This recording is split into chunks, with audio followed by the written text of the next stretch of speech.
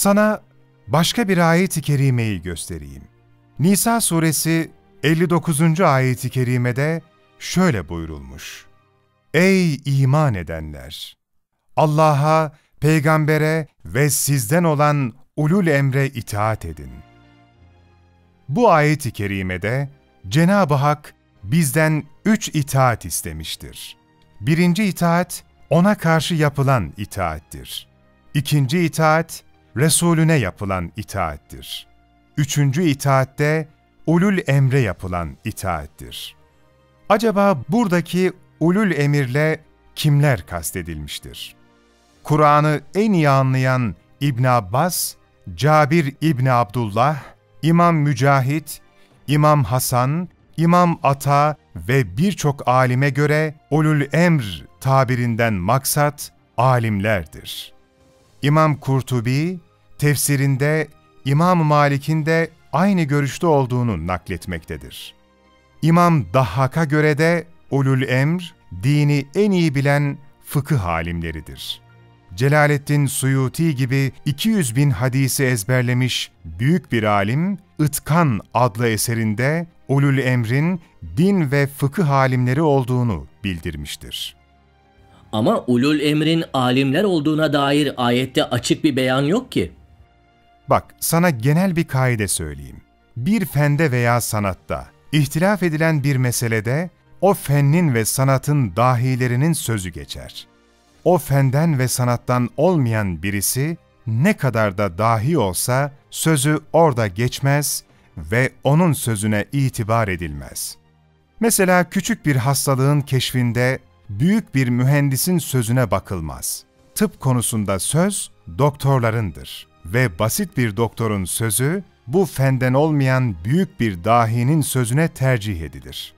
Şimdi Kur'an'ı en iyi anlayan ismini saydığımız ve sayamadığımız yüzlerce alim, ayette kendisine itaat emredilen ulul emrin din alimleri olduğu hususunda ittifak etmişlerdir.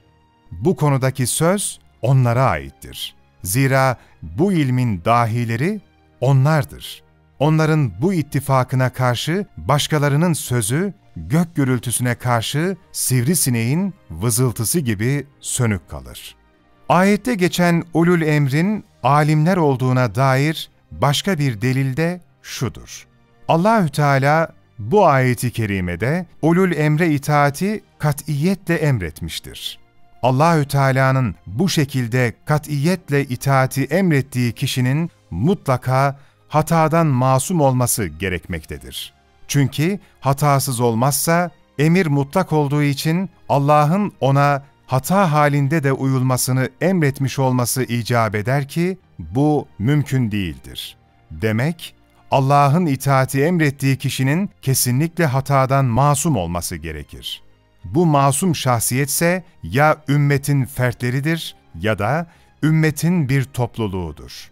Ümmetin fertleri olması mümkün değildir. Zira ümmet fertlerinin hatasız olması düşünülemeyeceği gibi, ümmetin böyle ender kimseleri bulup onlardan dini öğrenmeleri de mümkün değildir. Ve ümmetin bu konudaki acziyeti aşikardır. Dolayısıyla ayet-i celilede geçen ulul emrin bir topluluk olması gerekmektedir ki, bu da ümmet içerisinde fetva verme yetkisine sahip olan müçtehit alimler topluluğudur. Zira fertler hata yapsa da İslam alimleri hata üzerinde toplanmaz. İşte bu mütalaa neticesinde de ayette geçen ulul emrin alimler topluluğu olduğu sonucuna varılır. Ayrıca alimlere ulul emr denileceğini şu ayette ispat eder. Müminlerin hepsinin birden topluca savaşa katılmaları uygun değildir.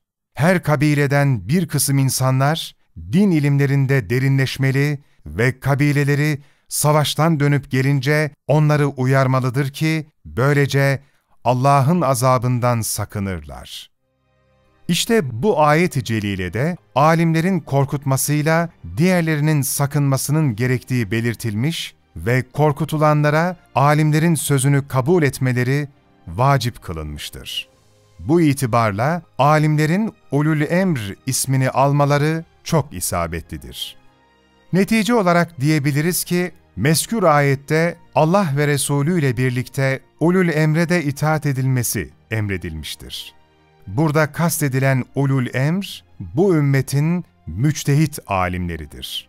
Zira İbn Abbas gibi devemin yularını kaybetsem Kur'an'da bulurum diyen bir alim, Celaleddin Suyuti gibi 200 bin hadisi ezberlemiş bir muhakkik ve bunlar gibi yüzlercesi ve binlercesi ulul emrin alimler olduğunda ittifak etmişlerdir ki bunların sözü yanında başkalarının sözünün hiçbir kıymeti yoktur.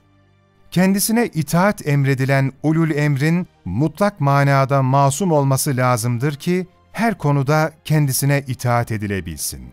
Masum olmaması halinde günahta da itaatin olması gerekir ki bu caiz değildir. Halbuki peygamberler hariç hiçbir fert mutlak manada hatadan masum değildir. O halde burada kendisine itaat emredilen ulul emr, fert değil, bir cemaat olmalıdır. Zira fert hata yapsa da cemaat bir hatada ittifak etmez. Bu cemaat ise alimlerden başkası olamaz. Zira sultan ve kumandanların böyle bir cemaati oluşturması mümkün değildir.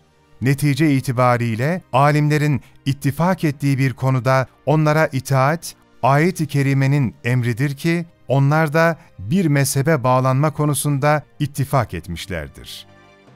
Ayrıca ayetin devamına da dikkat çekmek istiyorum. Ayetin devamında herhangi bir şeyde anlaşmazlığa düşerseniz onu Allah'a ve Resulüne götürün buyurulmuş. Bu kavli şerif icmadan başka kıyasın da hak ve şer'i bir delil olduğunu ispat etmektedir. Şöyle ki, ayet-i kerimede kendisinde ihtilafa düşülen bir meselenin Allah'a ve Resulüne götürülmesi emredilmiştir. Bir meselede ihtilafa düşmek için o meselenin Kur'an'da ve hadislerde açıkça geçmemesi gerekmektedir. Zira kendisinde ihtilafa düşülen mesele Kur'an'da ve hadislerde açıkça beyan edilseydi, zaten onun hakkında çekişmeye gerek kalmazdı. İşte böyle bir meselenin halli için takip edilecek yol, ayetin emriyle onu Allah'a ve Resulüne götürmek, yani Kur'an ve hadislerde hükmü açıkça bildirilmiş meselelere kıyas ederek hükmü çıkarmaktır. Demek bu ayet kıyası emretmiştir ki, bu hükmü açıkça belirtilenlerin arasından hükmü belirtilmemiş olan bir meselenin emsalini arayıp bularak onları birbirine benzetip kıyas ederek hükmü ortaya koymaktır. Şimdi sana sorum şu, madem kıyas şeriatın bir delilidir ve kıyasla hüküm bulunacak meseleler çoktur, acaba bu kıyası kim yapacaktır? Bir milyon hadisi şerifi ezberlemiş Ahmet İbni Hanbel mi, yoksa ezberinde 100 ila 200 hadis olmayan sen mi? Ya da bir haftada Kur'an'ın tamamını ezberleyen İmam Muhammed ve 4 yaşında hafız olan Said İbni Uyeyne mi? Yoksa Kur'an'ı sadece mealinden okuyup kendini alim zanneden sizler mi? Ya da İmam Şafii'nin beyanına göre bütün fıkıhçıların babası hükmünde olan İmam-ı Azam mı? Yoksa fıkıh usulü ve kaidelerinden habersiz olarak sadece zannıyla hükmeden cahil cesurlar mı? Hangisi kıyas edecek? Bizler bir mezhebe bağlı olarak bu işin erbabı olan mezhep imamları kıyas edecek derken siz mezhepsizler biz de kıyas ederiz demektesiniz. Halbuki kıyas edebilmek için kıyas edilecek Kur'an'ı ve hadisleri çok iyi bilmek gerekmektedir. Mezhep imamlarının her biri 500 binden fazla hadisi ravileriyle birlikte ezbere bilen dahi zatlardı. Bu zamanda kendisini onlara kıyas edenlerin hıfsında acaba kaç hadis var? Kaç hadis ravisini tanıyorlar? Hadislerin cerh ve tadillerine, nasih ve mensuhlarına, tariki vürutlarına vakıf mıdırlar?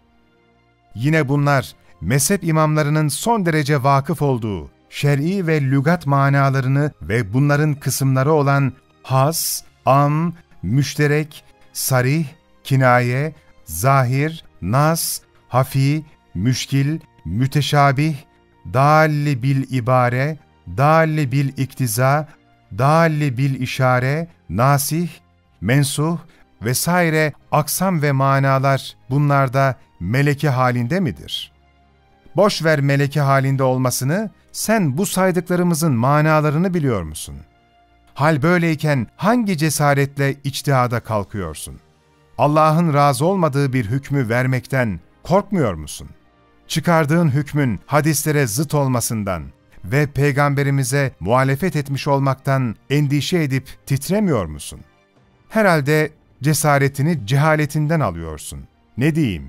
Allah böyle cahil olmaktan ve böyle cahillerin peşine takılmaktan bizleri muhafaza eylesin. Vallahi ne diyeceğimi ve nasıl muhalefet edeceğimi bilemiyorum. Ben seninle münazaraya başlarken seni kolayca mağlup edeceğimi zannediyordum. Ama sen karşıma topla tüfekle değil adeta tankla uçakla çıktın. Ben senin anlattıklarını bugüne kadar hiç duymamıştım. İnadım iyice kırıldı. Hatta daha fazla öğrenmeyi arzuluyorum.